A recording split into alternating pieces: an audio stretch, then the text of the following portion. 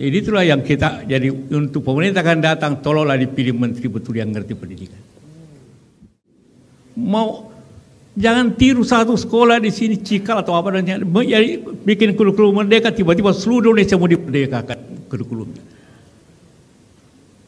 Hewan. Akibatnya beginilah.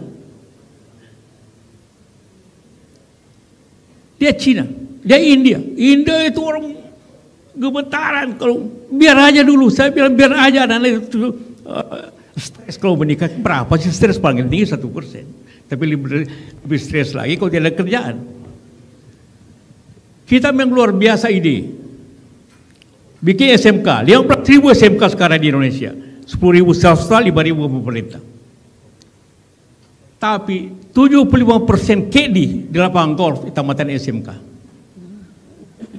Siapa main golf boleh tanya, saya setiap kali kau tamat apa? SMK. 75 persen dari empat KD, tiga tamat SMK. Itu artinya yang mana salah? Ekonomi salah atau pendidikan salah?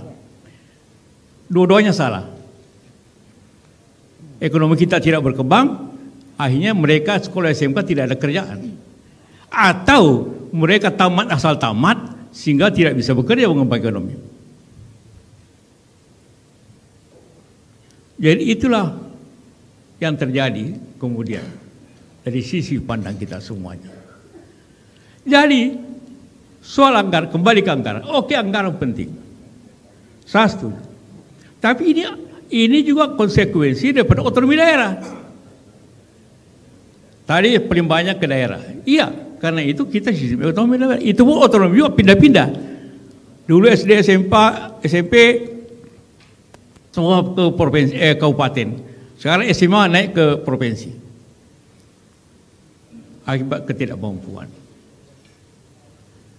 Jadi memang ini perlu seluruhnya. Jadi kita tidak bisa bicara hanya anggaran saja. Anggaran sekali lagi kita bicara anggaran ya. Sejarahnya bahwa pendidikan sangat penting semuanya selalu begitu. Tidak ada negara apalagi kita maka tidak penting. Karena itu semua kementerian, tokoh-tokoh pendidikan selalu memimpin pendidikan ini. Begitu menterinya tidak ngerti pendidikan dan balas lagi urus pendidikan, kacau lah semuanya. Saya kira Pak Sekjen lebih tahu dari saya tentang keadaan. Nah. Jadi itulah yang kita, jadi untuk pemerintah akan datang, tolonglah dipilih menteri betul yang ngerti pendidikan yang ngerti pendidikan. Kalau tidak ngerti beginilah, mau berapa, mau sekian beratus triliun dikasih, akan hancur-hancuran. Kalau tidak ngerti pendidikan. Sama saya di perusahaan, kalau tidak ngerti tentang teknologi, dikasih teknologi, dia akan aut-autan. Inilah yang perlu kita jadi, bukan hanya anggaran yang diperbaiki, orang yang melaksanakan anggaran juga harus lebih diperbaiki. Percuma kita bicara anggaran sekian-sekian tanpa orang yang memanage anggaran itu dengan baik.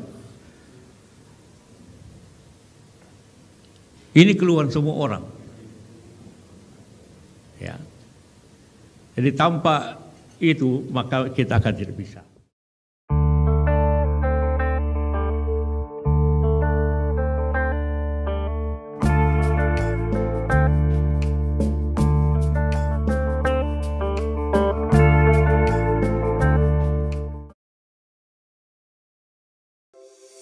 Antara banyak sumber informasi, kami layak dipercaya.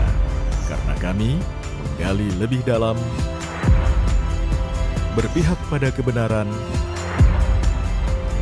berpegang pada data dan fakta, agar layak Anda jadikan referensi. Kompas TV, independen, terpercaya.